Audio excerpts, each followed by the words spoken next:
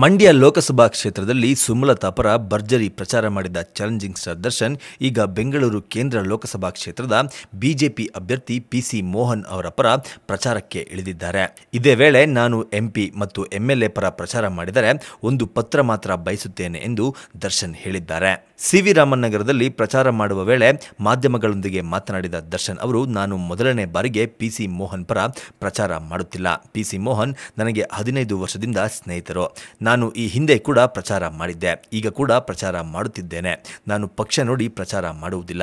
ನಾನು ವ್ಯಕ್ತಿಯನ್ನ ನೋಡಿ ಪ್ರಚಾರಕ್ಕೆ ಹೋಗುತ್ತೇನೆ ಎಂದು ದರ್ಶನ್ ಹೇಳಿದ್ದಾರೆ. ನಾನು ಎಂಪಿ ಎಂಎಲ್ಎ ಪರ ಪ್ರಚಾರ ಮಾಡಿದರೆ ಒಂದು ಪತ್ರ ಮಾತ್ರ ಬಯಸುತ್ತೇನೆ. ಏನೆಂದರೆ, ನಮ್ಮ ಮನೆಗೆ ಹಾರ್ಟ್ ಆಪರೇಷನ್ ಬೇರೆ ಆಪರೇಷನ್ ಹಣ ನೀಡಿ ಎಂದು ಜನರು ಕೇಳಿಕೊಂಡು ಬರುತ್ತಾರೆ. ಆಗ ಎಂಪಿ ಎಂಎಲ್ಎ ಅವರಿಂದ ಪತ್ರ ಬಯಸುತ್ತೇನೆ. ಅವರ ಪತ್ರದಿಂದ ಆಸ್ಪತ್ರೆಗಳು ವೈದ್ಯಕೀಯ ಶುಲ್ಕವನ್ನ ಸ್ವಲ್ಪ ಕಡಿಮೆ ಮಾಡಿ ಚಿಕಿತ್ಸೆ ನೀಡುತ್ತವೆ. ಆಪರೇಷನ್ಗೆ ಒಂದು ಲಕ್ಷ ರು ಇದ್ದರೆ ಪತ್ರ ನೋಡಿ ಮೂವತ್ತು ಸಾವಿರ ರೂಪಾಯಿ ಕಡಿಮೆ ಮಾಡುತ್ತಾರೆ. ಉಳಿದ ಹಣವನ್ನು ನಾವು ನೀಡಿ ರೋಗಿಗಳಿಗೆ ಸಹಾಯ ಮಾಡುತ್ತೇವೆ ಎಂದು ದರ್ಶನ್ ಹೇಳಿದ್ದಾರೆ. ಮಂಗಳವಾರ ನಾನು ಮಂಡ್ಯಕ್ಕೆ ಹೋಗುತ್ತೇನೆ. ಜನರು ಎಳೆದಾಡುವಾಗ ಕೈ ಸ್ವಲ್ಪ ನೋವಾಗಿದೆ. ಬೆಂಗಳೂರಿನಲ್ಲಿ ಸದ್ಯ ಪಿಸಿ ಮೋಹನ್ ಬಿಟ್ಟರೆ ಯಾರ ಪರವಾಗಿ ಪ್ರಚಾರ ಮಾಡುವುದಿಲ್ಲ. ಮತ್ತೆ ಹದಿಮೂರರಂದು ನಾನು ಪಿಸಿ ಮೋಹನ್ ಪರ ಪ್ರಚಾರಕ್ಕೆ ಬರುತ್ತೇನೆ ಎಂದು ದರ್ಶನ್ ತಿಳಿಸಿದರು. ಇಂದು ಸಂಜೆ ಮತ್ತೆ ದರ್ಶನ್ ಶಾಂತಿನಗರ ವಿಧಾನಸಭಾ ಕ್ಷೇತ್ರದಲ್ಲಿ ಪ್ರಚಾರವನ್ನ ನಡೆಸಲಿದ್ದಾರೆ. ಶಾಂತಿನಗರ ಬಸ್ ಸ್ಟ್ಯಾಂಡ್ನಿಂದ ರೋಡ್ ಶೋ ಆರಂಭಿಸಲಿದ್ದಾರೆ.